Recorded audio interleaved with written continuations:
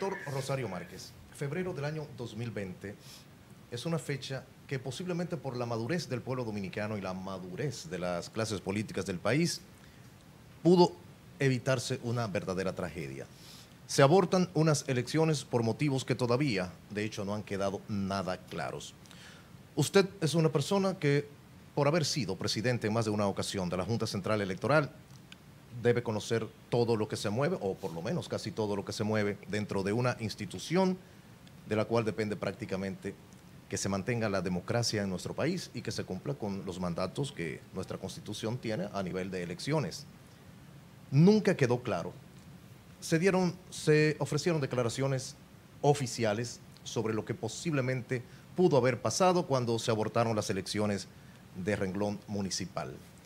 La crisis que prácticamente se desató en República Dominicana conllevó a que las autoridades de aquel momento trajeran una comisión de la Organización de Estados Americanos, OEA. La comisión dictaminó que no había acontecido prácticamente nada de lo que el oficialismo dijo en ese momento.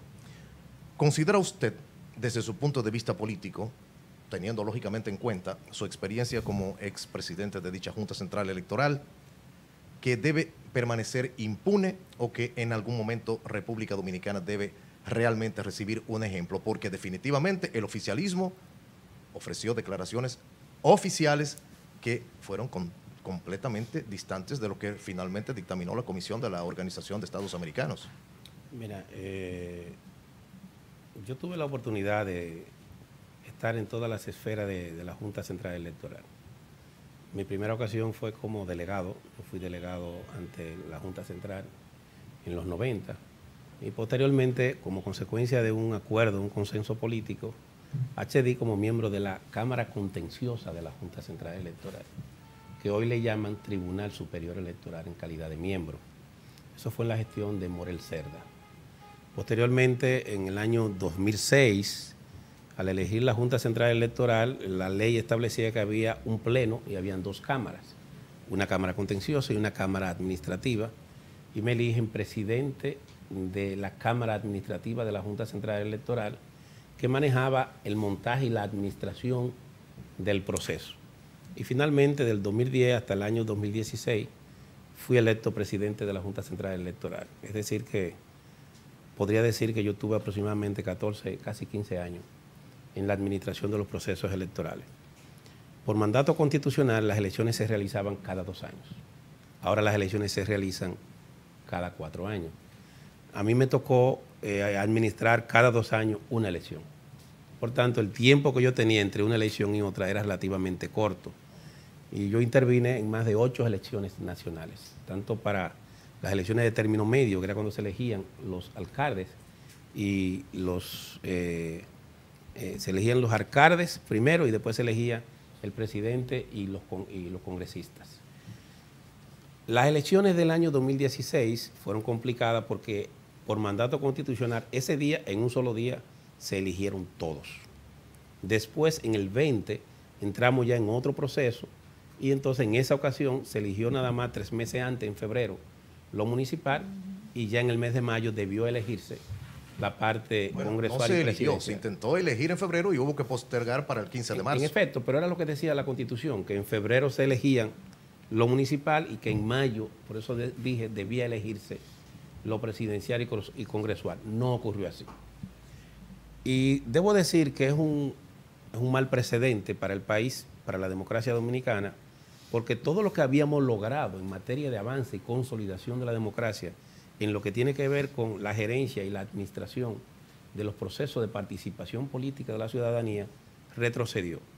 Hasta ese momento la Junta Central Electoral era un paradigma a nivel internacional y se tomaba como ejemplo en toda América Latina a tal nivel que en nuestra gestión llegamos a tener la presidencia de UNIORE, que era la Unión Interamericana de Organismos Electorales, y en la primera elección que se hizo con 102 órganos electorales mundiales en la ciudad de Corea, nos tocó también ser electo presidente de la Asociación Mundial de Órganos Electorales, donde competimos con los países más desarrollados, Sudáfrica, India, Corea del Sur, eh, México, otros países pero el, nivel de, prestigio que tenía la Junta Central Electoral Internacional era tan grande que nosotros logramos salir electos. ¿Por qué era ese prestigio? Bueno, nosotros en nuestra gestión logramos consolidar tanto el sistema que en elecciones como Ecuador, o como Bolivia, o como Honduras, o como El Salvador, o como Guatemala, nosotros generalmente era los que asesorábamos esos procesos. Y los equipos de la Junta Central Electoral, nosotros se los facilitábamos a esos órganos electorales para que tuvieran procesos electorales transparentes. Al darse la situación que se produce en febrero, todo eso volvió hacia atrás. Y la Junta, que era un, órgano que exportaba su experiencia, el expertise que había logrado en, el montaje de los procesos, también perdió ese prestigio. ¿Por qué se produjo ese hecho? Ese hecho se produjo porque la gestión que nos sucedió en el cargo eh, trató de introducir un sistema electoral diferente al que habíamos tenido eh, en la República Dominicana, que había dado como resultado elecciones eh, transparentes, libres. No significa que no hubieran inconsistencias. En todos los sistemas electorales puede haber inconsistencia. Pero nunca en ningún sistema electoral del mundo se había suspendido una elección después de iniciada. Nosotros tenemos el récord mundial de que es el único país del mundo donde, donde después que una elección se inicia, se interrumpe y se suspende. Eso no había ocurrido en ninguna eh, parte del mundo, así lo declaró la propia eh, Organización de Estados Americanos. ¿Por qué se dio eso? Bueno, nosotros como partido político eh, hicimos una denuncia el viernes anterior a las elecciones ante la Organización de Estados Americanos y dijimos que teníamos información de que había problemas de inconsistencia en el manejo de los equipos de votación que habían sido ya colocados desde el jueves anterior en todos los centros de votación. Y que habíamos recibido la información de que en muchos lugares las boletas electrónicas no tenían toda la data requerida para que se pudiera ejercer el derecho al voto. En algunos lugares, por ejemplo, había partidos que no aparecían o había candidatos que no se registraban y en otros sencillamente que no aparecía nada. Cuando llevamos información a la OEA, se solicitó una reunión a la Junta de cuál era la situación que había y esa misma noche ellos hicieron un levantamiento y el sábado anterior la Junta dio garantía de que antes de las 5 de la mañana del domingo eso iba a estar resuelto.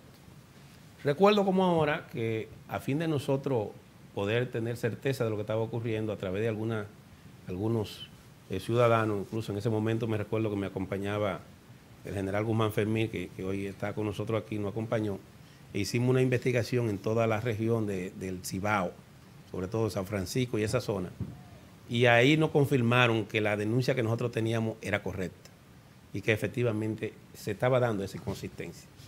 Pero la Junta le aseguró a la OEA y a los observadores internacionales que ellos iban a resolverlo, pero se le hizo una pregunta. ¿Ustedes tienen información de cuál es la dimensión de las inconsistencias en los equipos electorales? Y ellos dijeron que no sabían el nivel de inconsistencia. Y yo recuerdo que yo le dije, mire, hay dos elementos que dicen que esas elecciones van a fracasar. El primer elemento es que ellos dicen que no saben la magnitud de la inconsistencia, es decir, ellos no saben cuántos equipos están dañados un día antes. Y el segundo elemento es que ellos dicen que lo van a arreglar en el periodo que va de 4 a 7 de la mañana y que ellos esperan que a las 6 de la mañana todo esté resuelto. Y yo le dije, miren, el dominicano tiene un tema y es que el dominicano es chivo, es el término que se usa. Es esquivo y desconfiado. Si usted instala un equipo un jueves y ese equipo está ahí jueves, viernes y sábado, y usted se aparece en la madrugada del domingo de que usted va a cambiar ese equipo, usted lo puede salir fácilmente eh, corriendo porque le van a dar una carrera o usted va a tener un problema grave. Porque todos los delegados que están ahí dicen que lo que van a ir a cambiar el software para hacer un fraude. Y ahí lo que va a haber es una gran trifulca. ¿Cómo ocurrió? En todos los sitios que intentaron ir a resolver, tuvieron que salir huyendo, porque la gente no lo dejó. Pero entonces, en adición a eso, la magnitud no era como yo decían, de a lo mejor un 5, no, era, era todo el sistema. Y como consecuencia de eso, ellos tuvieron que suspender la continuación de la votación porque tú no puedes hacer un proceso electoral donde hay candidatos que no aparecen. Porque si el candidato no aparece, entonces ese, ya tú estás sesgando la posibilidad de que un ciudadano pueda ejercer el voto en contra de ese partido o en contra de ese candidato. Poco importa de qué partido fuera. Eso a nivel de boletos, pero el padrón había candidatos que no aparecían ni siquiera podían votar por ellos mismos. Eso quiere, así es. Eso quiere decir que de la Junta Central Electoral de ese momento hubo falta de preparación y hubo falta de previsión para que ese fenómeno se diera. La Junta pudo haber resuelto el problema satisfactoriamente, sí con tiempo. Cuando se hizo la denuncia, simplemente tenía que haber tenido lo que se llama un plan de contingencia cuando se organiza un proceso electoral de esa magnitud, tú tienes que tener un plan A y un plan B. El plan A es tú usar los equipos y el plan B, si el equipo no funciona, tú lo tienes manual. Y simplemente tú acudes al manual y con el manual realiza las elecciones. Y no hubiese pasado nada. Ellos no se prepararon con un plan de contingencia y ese es el resultado de que las elecciones ese día no pudieran realizarse y no transcurrieran un poco más tardío, pero sin mayores inconveniente. El informe que rindió la Organización de los Estados Americanos contuvo 21 hallazgos.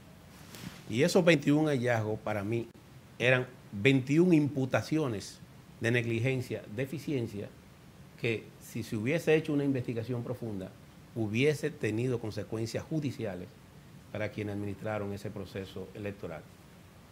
Ya fuera por falta de capacidad o incompetencia, o por malicia, si es que la hubo, porque no me toca a mí eh, decir o hacer una afirmación de ese tipo. Pero evidentemente que hubo una falta de competencia en la gerencia de administración que se tradujo eh, de alguna manera en un gasto excesivo del dinero público que el Estado Dominicano había dispuesto para la compra de esos equipos y por demás también en un trauma que afectó la transparencia y la diafanidad de los procesos electorales que tenía más de 50 años que venía organizando procesos electorales más o menos eh, regulares y sin grandes contratiempos. Gracias por su respuesta. Un proceso que realmente eh, puso en juego la credibilidad de la Junta Central Electoral, de su presidente y muchas otras cosas más, como usted dice, pero que al final no hubo una consecuencia eh, para los responsables de, de no haber eh, detectado a tiempo, sino que otro equipo, que era su equipo, sí había previsto esas fallas que podían ocurrir en, este proceso electoral que al final eh, retrasa eh, lo que es nuestra democracia para la historia. Ahí estaremos para la historia. Mire, usted da un dato ahí que, complica más eso todavía. En el año 2018, esta junta llegó, la que, la que ministró en ese momento, con una idea equivocada de lo que había ocurrido y quiso afectar la funcionalidad y la imagen de la gestión que ellos, que le predeció, que, que, ellos sucedieron.